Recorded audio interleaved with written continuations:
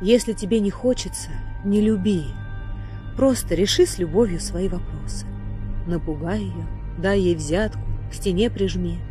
Да придумай в конце концов что-нибудь, ты же взрослый.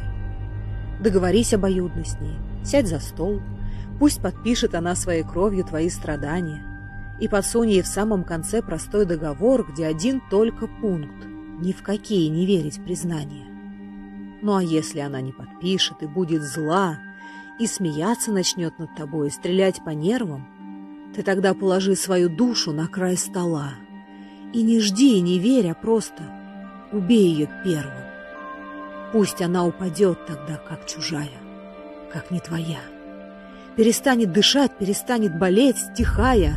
А отвернись, не смотри на нее, а то вдруг она, вопреки всем законам, до сих пор все еще